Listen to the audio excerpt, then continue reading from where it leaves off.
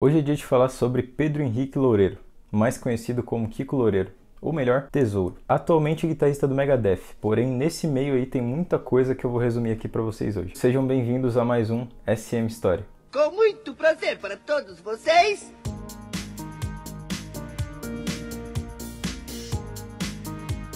Kiko nasceu no Rio de Janeiro, porém foi criado em São Paulo. Como diz na própria biografia, ele sempre foi uma pessoa muito curiosa quando o assunto principal era música. Na escola mesmo acompanhava quantos álbuns podia, já que lá na biblioteca tinha um monte para ouvir. As escolas que eu estudei, uma não tinha nem violão e a outra tinha um sem corda. Assim, o menino Pedro passava a colocar na rotina horas de estudo de guitarra e passava a fazer aulas mais voltadas para o instrumento que ele se identificou mais. No próprio canal ele mostra o primeiro violão que ele ganhou, que era um de Jorge, daqueles bem clássicos, antigão. E a primeira guitarra ele comenta que foi uma SG preta da Giannini, que na época, se eu não me engano, fazia guitarras nas medidas originais da Gibson e da Fender, quando isso ainda não era um problema. Nesse meio das influências, ele já mostrava um interesse muito grande por música brasileira. Com 16 anos, ele já tinha na cabeça que queria levar uma vida realmente na música, principalmente tocando guitarra. E foi daí que ele passou a fazer aulas com Mozart Mello, mais conhecido como Einstein da guitarra também, que ele estudou durante 5 anos e com certeza fez muita diferença na forma de tocar. Na biografia do site oficial do Kiko é engraçado que não tá escrito isso, mas ele participou de um grupo chamado Dominó, que era tipo uns Backstreet Boys, um menudos daqui do Brasil,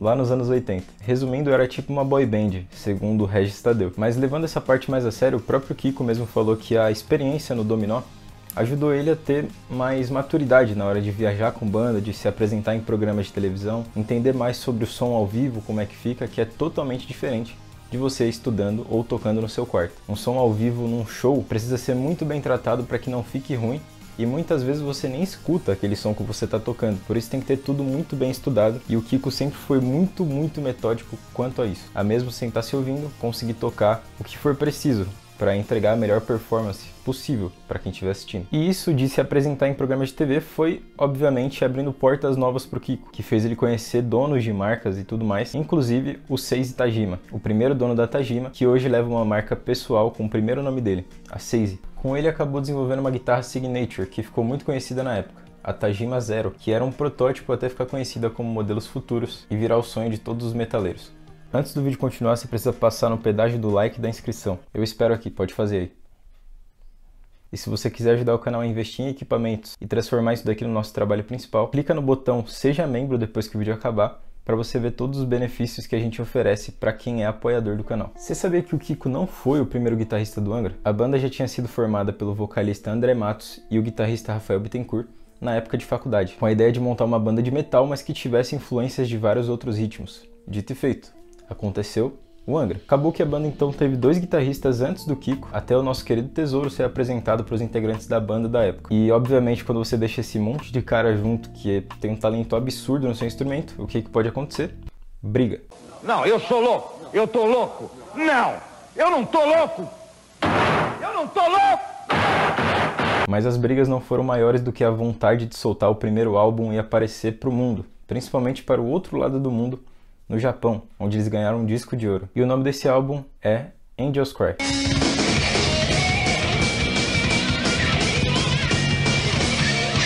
Ali já era perceptível que ele era diferente, principalmente por conseguir adicionar ao heavy metal uma linguagem de música brasileira. Uma das músicas desse álbum acabou virando o hino do metal, praticamente. Carry On.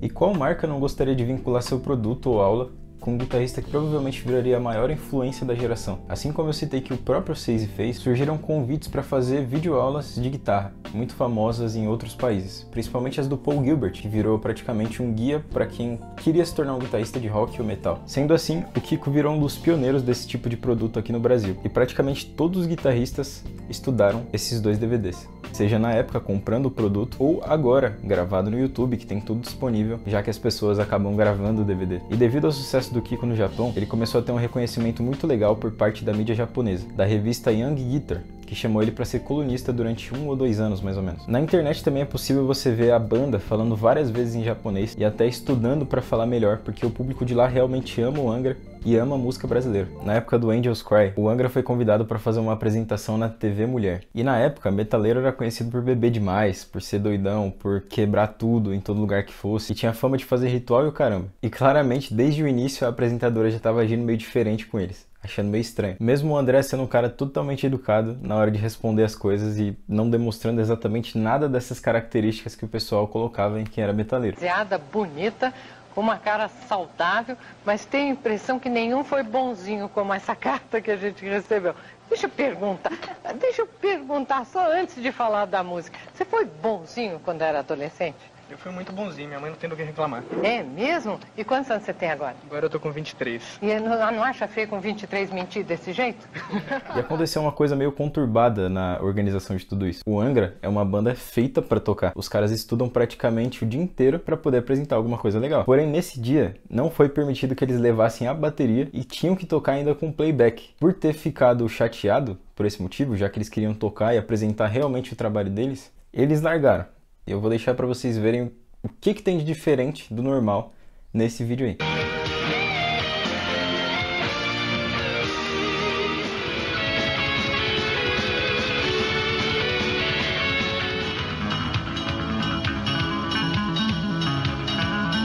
Tá vendo, mamãe? De repente o seu menininho aí de 12 anos que tá vendendo saúde, super agressivo, bota pra estudar música. O André tirou o cabo do microfone, o Rafael fazendo uns riffs de guitarra e um violão de nylon, de uma dupla sertaneja que iria tocar no mesmo dia. O Luiz Mariotti, que é o baixista, tava tocando guitarra, e o Kiko...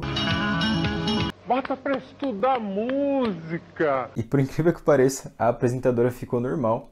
Só não digo mesmo das senhorinhas que ligaram a TV pra ver a dupla sertaneja e do nada tava uma banda de um monte de moleque lá, se jogando no chão e tocando o instrumento errado. Com o Angra, ele lançou vários álbuns além do Angel Square, entre eles o Rebirth, o Aurora Consurgence, Aqua, Holy Land, Fireworks, Hunters and Prey, Secret Garden, mas eu quero deixar um em específico para falar melhor, que vocês já devem saber qual é. Junto com Holy Land, o álbum Temple of Shadows foi um dos mais aclamados pelo público e crítica. Depois de anos, com todos os músicos da banda já sendo respeitados, né? E isso foi depois do lançamento do Rebirth, que já tinha trocado integrantes da banda, e os únicos que continuavam eram o Kiko e o Rafael. O Kiko e os integrantes da segunda formação resolveram usar o máximo de técnica possível para fazer esse álbum. Para vocês terem uma ideia, as músicas são tão difíceis de tocar que até os integrantes às vezes não conseguem mais tocar depois de um tempo, a não ser que voltem a estudar normal, né? Mas como tem aquela rotina de show muito pesada, de várias músicas que tem que ser tiradas do novo álbum ou para fazer músicas novas, você acaba esquecendo tudo aquilo lá que você fez. E ainda mais numa época que você decidiu usar praticamente toda a sua técnica e realmente extrapolar nas ideias na hora de compor alguma coisa. O solo da música Morning Star que é, eu acho que é a penúltima desse álbum, obviamente sem contar aquela finalização com orquestra, foi postado no canal do Kiko com o título This is a difficult solo for me, que na tradução óbvia significa esse é um solo difícil para mim.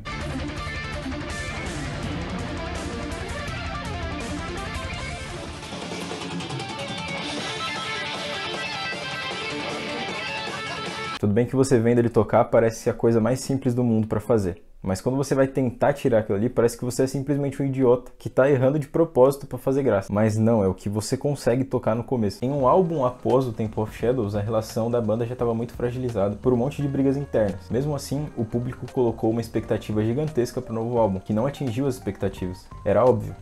Mas com o passar dos anos, aquela paixão boba foi passando e os fãs voltaram a escutar melhor o álbum Aurora Consurgence. Ali, a maioria das pessoas que foram tirar as músicas começaram a pensar que tava treta demais para tocar algumas coisas ali. E uma coisa explica isso: quem ficou à frente das composições desse álbum, principalmente pelas brigas da banda, foi o Kiko Loureiro. Ou seja, todos os integrantes da banda sofreram para aprender aquelas linhas ali de baixo de guitarra que ele tinha feito. A banda toca poucas músicas desse álbum até hoje, obviamente pela questão de marketing, de o público não ter gostado tanto, mas hoje em dia o público já pede músicas desse álbum e a banda acaba penando um pouco para poder tirar. Já que eu nem sei se eu posso falar se o Kiko tava no auge, porque para mim o auge dele parece ser hoje, mas também parecia ser aquela época. E é muito diferente esse tipo de sensação. Você vê um guitarrista que não parece parar de evoluir. E ó, nesse vídeo aqui eu não vou entrar num assunto em linha do tempo perfeita, certo? Porque tem muita coisa e eu vou evitar falar tanto do Angra aqui. Vou falar mais sobre o Kiko Loureiro, pra gente focar um pouco mais na história dele, já que esse vídeo é sobre ele. Então, saindo do Aurora e voltando um pouquinho na linha do tempo,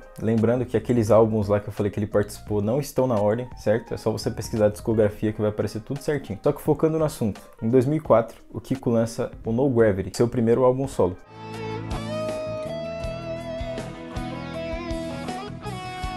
Esse álbum abriu portas muito importantes individualmente para ele. Apresentar o seu trabalho em programas de TV, rádio daquela época principalmente, era muito importante. Tudo se passava no ano de lançamento do Temple of Shadows. E então vieram essas duas pedradas de uma vez já no peito dos fãs. Mas uma coisa que eu sempre falo que é essencial e eu mesmo preciso fazer muito mais isso para os músicos é frequentar lugares de eventos musicais. Seja a Expo Music aqui no Brasil, que é um evento gigantesco que tem sempre guitarristas lá que a gente é fã, violonistas que a gente é fã, que a gente pode fazer um contato e às vezes mudar nossa vida porque o cara vai gostar do jeito que você toca, ou vai gostar do seu projeto e vai te patrocinar. E como eu falei, as marcas começaram a convidar ele para todo tipo de evento, principalmente nos Estados Unidos, a NAMM Show. I'm a Brazilian guy and I travel all over the world.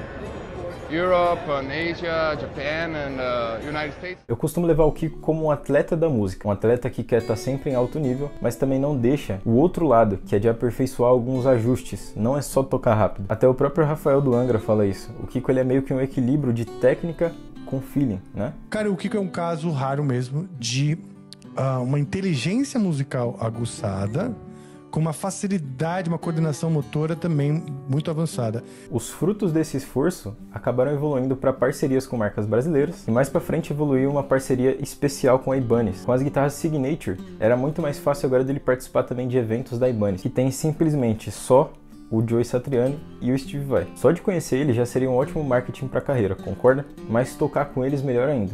E olha, melhor ainda também pro Angra. Conforme as pessoas fossem vendo o Kiko tocar, iam virar o olho para a banda dele. E na banda dele também tem ótimos músicos que poderiam ter oportunidade de tocar em qualquer banda do mundo, na minha opinião. Não dá para ter certeza disso, certo? principalmente pelo fator convivência. Mas o Kiko ele é um músico que toda banda queria ter, um músico eficiente que vai resolver tudo quando se trata de violão e guitarra, sendo versátil para tocar o que for preciso nesses dois instrumentos simplesmente porque ele vai se esforçar para tocar aquilo que você pediu. E se pesquisar um pouco mais, você pode ver que o Rico ele gravou todos os instrumentos, exceto a bateria no primeiro álbum dele solo. Então o cara ele também sabe desenrolar em outros instrumentos. Eu já vi ele tocando bateria, piano.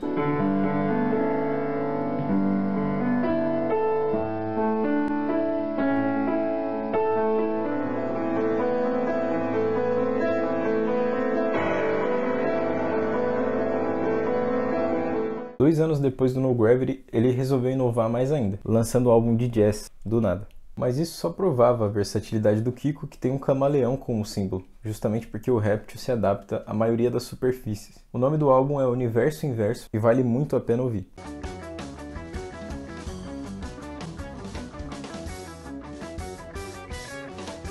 Nesse mesmo ano, Kiko foi eleito o melhor guitarrista do mundo por uma das principais revistas japonesas no cenário musical. Em 2019, ele lança o terceiro álbum, Full Blast, e um novo projeto chamado Neural Code, que é focado em fusion, misturando rock e jazz com música brasileira, obviamente. Essa sonoridade respingou nos solos do Aqua, álbum lançado com Angra em 2010. E olha que até 2010 aconteceu esse tanto de coisa e eu ainda tinha simplesmente 6 anos. Depois ele lança mais um álbum que foi muito bem recebido pelos fãs e pela crítica, o Sounds of Innocence.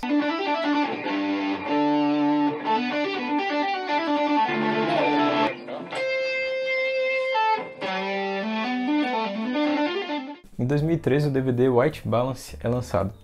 Ele explica que white balance é um termo que tem a ver com câmeras, que pesquisando o significado aparecem respostas explicando que é um balanceamento de cores em uma imagem até que elas fiquem fiéis às cores que aquela imagem teria sob uma iluminação ideal. E isso diz muito sobre as músicas que o Kiko escolheu para entrar no DVD, que era separado em três partes: rock e metal, a parte acústica e por fim a parte que era mais voltada para o fusion,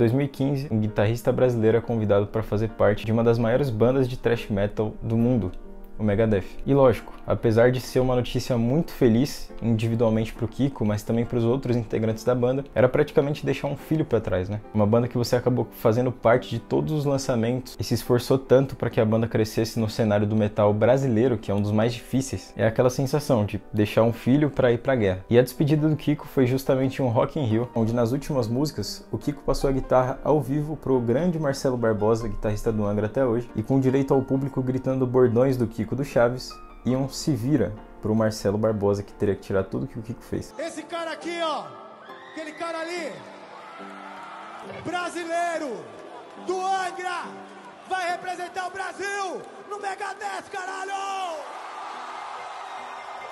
Assim como o Rock Rio é a excelência de nós brasileiros no mundo afora. Ele é da família do Angra e é com maior orgulho que ele vai representar o Brasil e o Angra pelo mundo, caralho!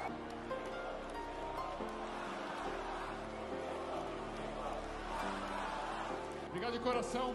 Obrigado a todos aqui do Angra, todo mundo da família Angra e Marcelo Barbosa. Seja bem-vindo aqui na família Angra.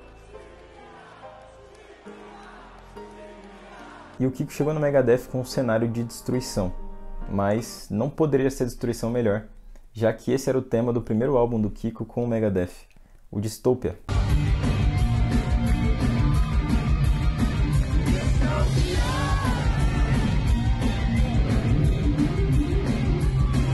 Pouco tempo depois, o Kiko lançou um dos seus melhores álbuns, na minha opinião. Parece que o cara amadureceu mais ainda, não só na questão técnica, mas em questão de timbre na guitarra, porque quando você ouve o Open Source, você não sente falta de nada.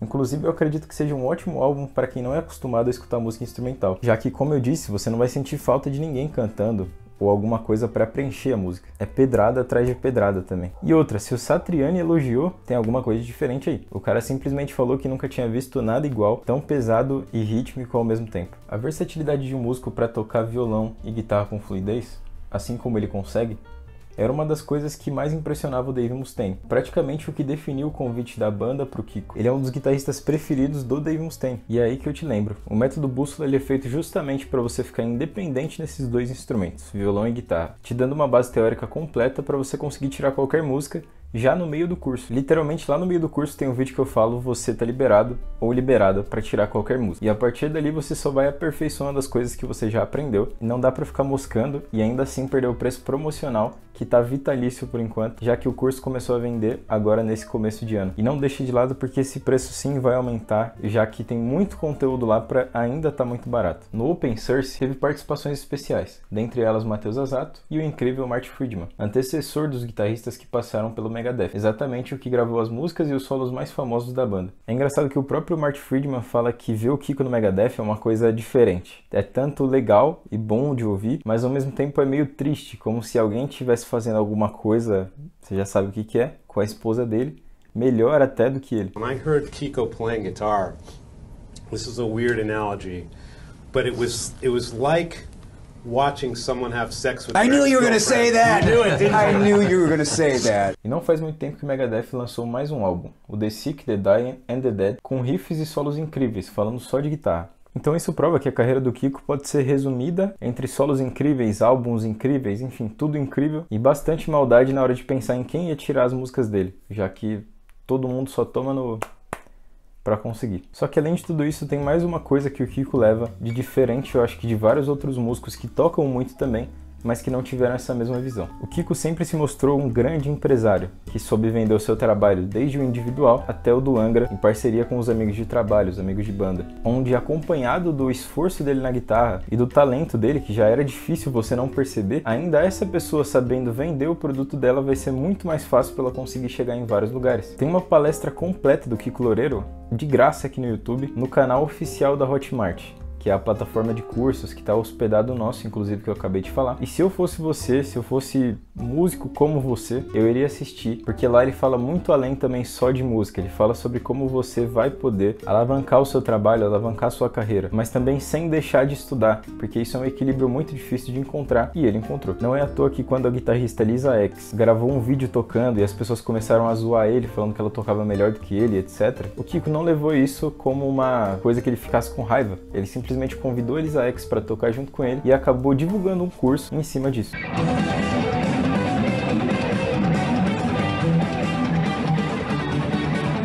E assim, obviamente, a Lisa X continuou muito fã dele e teve várias oportunidades a partir daí, porque o Kiko convidou ela para um dos maiores eventos de música. E se eu não me engano, hoje ela é patrocinada pela mesma marca que o Kiko, talvez ainda por conta do Kiko. É justamente pensar além do instrumento que vai fazer você ir longe. Se tem uma lição que a gente pode aprender com o Kiko é que pode ter pessoas muito mais habilidosas que você mesmo que você seja habilidoso pra cacete. Mas que nesse meio, se as pessoas não conseguem vender o seu trabalho, vender as suas ideias, quando você consegue isso, você tá um passo à frente. E olha que essa visão dele vem daquela época que nem tinha internet tão forte como é hoje. Cada dia que passa, vemos um brasileiro conquistando mais coisas com o instrumento, tudo que ele sonhou. Isso muda a vida pra caramba e você ainda escuta que isso não dá futuro ou que é coisa de vagabundo. E quando eu vejo o Kiko, eu posso ver um cara que não deu ouvido para esse tipo de coisa e acabou provando o contrário, ficando até mais bem sucedido do que vários outros caras que trabalham com profissões que acham que são mais dignas do que outras. Ele já tinha o talento e o esforço, aprendeu a promover a carreira e virou um dos maiores do mundo. Kiko, se algum dia esse vídeo chegar em você, não sei se é possível, mas é um prazer ser do mesmo país que você. Tamo junto e até a próxima.